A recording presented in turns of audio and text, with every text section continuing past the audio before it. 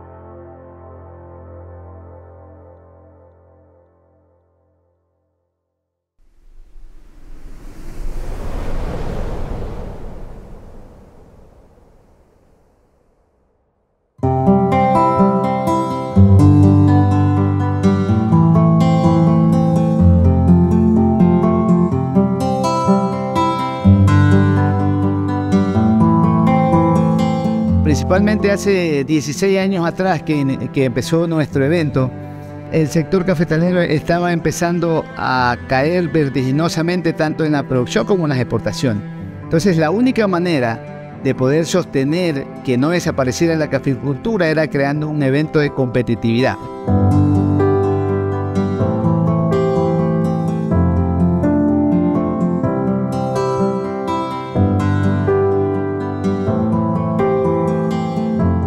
Los primeros años fueron años muy difíciles porque el productor obviamente en el Ecuador una de las cosas terribles que tenía era que no sabía de calidad.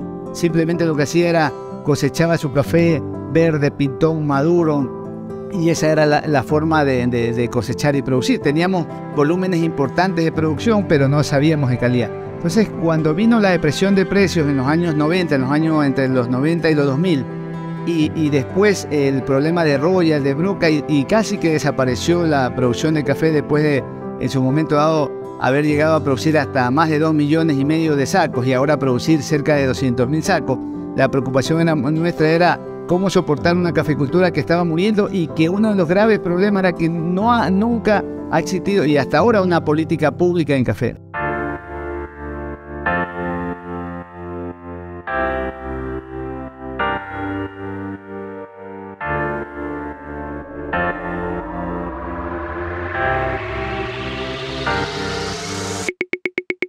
A la hora de hacer un concurso, pues obviamente una de las primeras cosas es eh, que todo tiene que ser eh, completamente transparente. Entonces el catador está catando completamente a ciegas. Lo único que ve el, el juez es el sabor del café.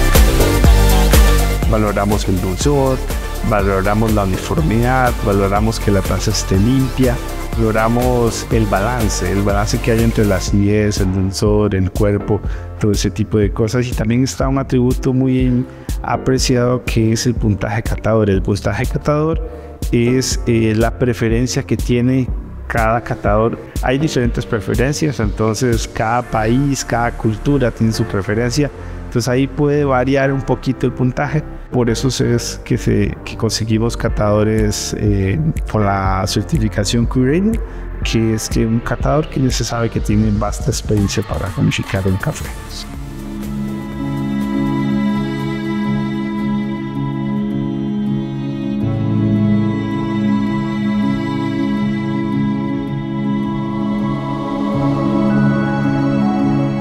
Estos cafés están al mismo nivel que los mejores cafés que he probado de otros países que tal vez tienen más fama que, Ecuador. El puntaje que yo le di a uno de los cafés hoy es el puntaje más alto del año para mí. Así que eso, eso quiere decir que, que están muy buenos. Ecuador cada año que ha ido pasando, gracias a muchos productores, eh, tostadores, baristas que han venido buscando café ecuatoriano, ha ido creciendo y somos ya como un país exótico con perfiles muy diferentes a otros, donde tenemos variedades que sí es verdad tienen otros países como Colombia, Panamá, México, etcétera, pero nuestro geisha no es lo mismo que un geisha panameño, nuestro sidra, nuestro típica mejorado, son realmente variedades emblemáticas que están cambiando el, el futuro de la cafecultura ecuatoriana.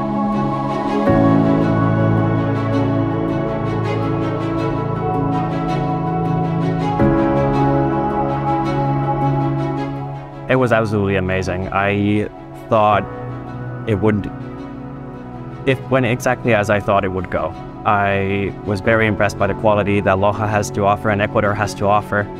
All the coffees were absolutely mind blowing and had been growing as in quality and in terms of their processes and their flavor profiles, just as I thought they would be.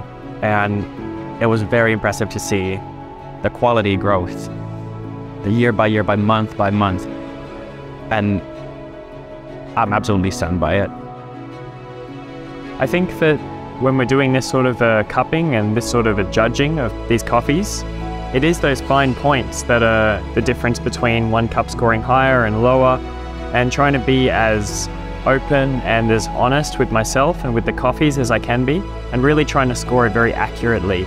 So, you know, if it's a little bit better in acidity or a little bit better in body, really trying to showcase that on the score sheet and give the best score I can possible.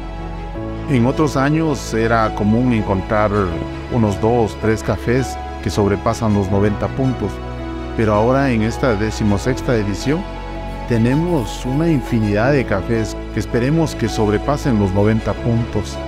Entonces eso se ve reflejado al trabajo que están haciendo los productores en cada una de las fincas. Cuando tenemos un café de 90 puntos es un café sumamente exótico es muy difícil obtener los 90 puntos y que campeones internacionales hayan dado 90 puntos definitivamente pone a Ecuador eh, en una vitrina de las mejores alrededor del mundo.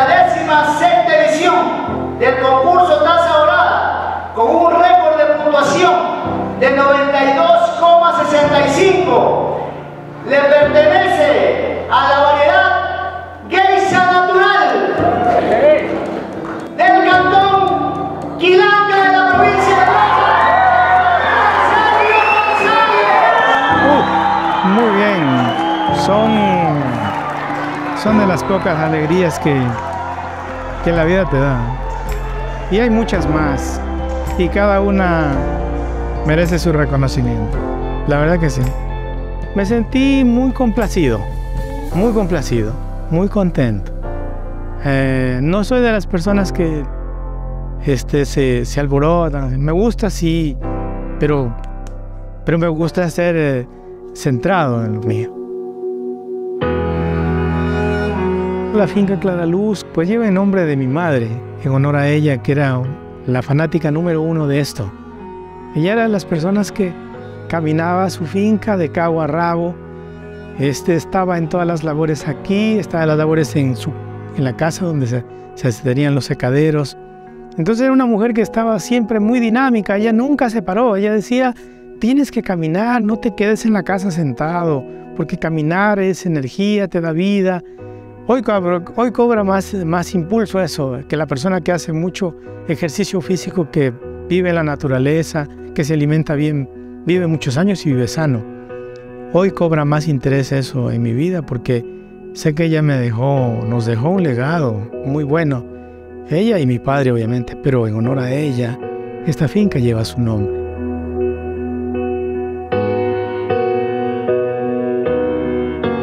No queremos competir con otras personas solo por calidad y por eh, tener este, los, los, puntajes más altos, sino porque queremos que esto sea un terroir, que sea limpio, que no, aquí no tenemos fermentaciones este, con otros métodos fuera de lo que te da la tierra.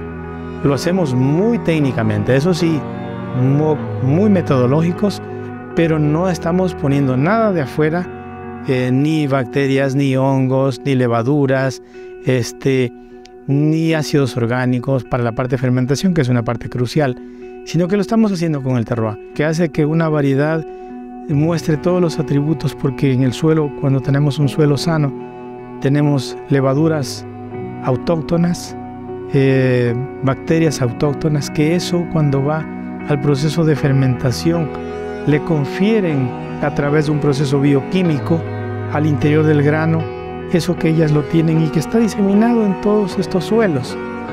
A la vez que también toda la riqueza del material parental que tenemos, del tipo de suelos, del tipo de arcillas, del tipo de eh, clase textural, de las horas sol, de los eh, tiempos de lluvia y, de, sequedad, ¿no? toda la interacción entre, entre el suelo y las características ecológicas son los que determinan y dan el terroir a estos tipos de cafés. Pues sueño con, con una vida tranquila. Sueño con una vida tranquila que me gusta, que la disfruto, que cada día cuando me levanto, cojo mi método B60, mi molino, mi agua caliente y lo pongo a hacer el mejor café de los que se toman cada vez que les venden una taza en 10, 20 dólares, me la tomo yo gratis. Eso me encanta. Es gusto por el, café, es, eh, recorrer los pasos de mis padres, de mis abuelos, de las personas que hicieron café antes que yo, ¿no?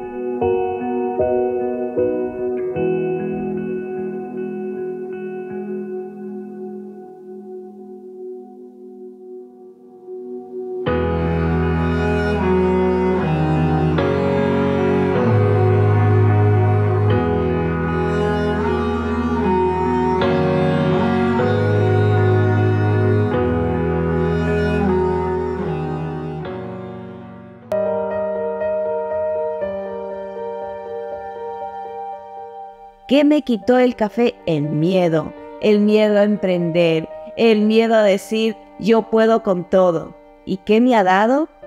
Pues me ha dado todo. Nosotros eh, compramos la finca con toda la ilusión de un matrimonio joven. Sin embargo, eh, cuando teníamos eh, el negocio iniciado, las semillas listas para ser trasplantadas, creo que empezó una nueva etapa de vida